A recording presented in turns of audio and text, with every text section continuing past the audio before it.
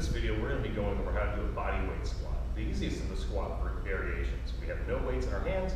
We're not doing anything funny with dowels. This is something you can do in the privacy of your own home, in a hotel, on the street, wherever you really want to be doing it. And we're gonna go through our cues from head to toes. Standard body weight squat can look anything like this, this, this, but the things we want to make sure that we are going to be doing is that we want to keep our head and chest up.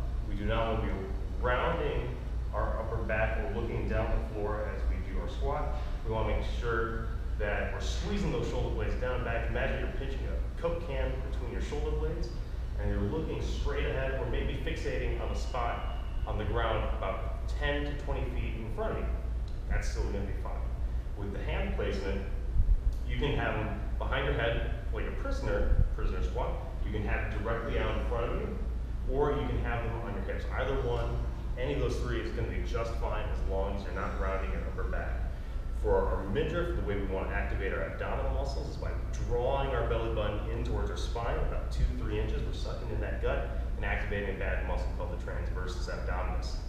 Our feet have a little bit of leeway, so we can have our feet about shoulder width apart, and our toes can either be directly forward or they can be turned out a little bit to the side. And it's kind of a sweet spot for different people because not everyone's hips are great, are uh, made in the exact same way. So there's a little bit of leeway. You kind of got to find your sweet spot. What we want to make sure that we're doing is knees are going to be over our toes, whatever we're doing, and we want to make sure that we are squeezing our glutes together to get maximum glute activation as opposed to quadricep or back activation during our squats. Our knees stay over our toes. We do not let them collapse either in or bow out. Now part of that is going to be making sure that we keep our pressure over the heels and the outside of the foot. The more you start to feel pressure on the inside of your foot underneath the arches, the more likely you are to collapse your knees and your ankles in.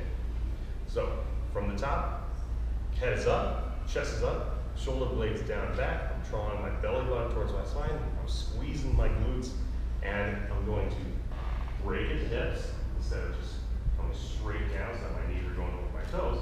Break at the hips, coming down, coming down, coming down. Shooting for 90 degrees. If you can't hit 90, maybe because at that certain point your knees collapse together where you're starting to feel your low back arch underneath, your tailbone on top, that's a good spot to stop, especially if you're going to be loading up with any weight in the near future. Come on down, we hit depth. You can even choose to go lower if you really feel like it. And then push with the heels, push to the outside of your foot, squeeze through, exhale on the way up. Breathing in, out.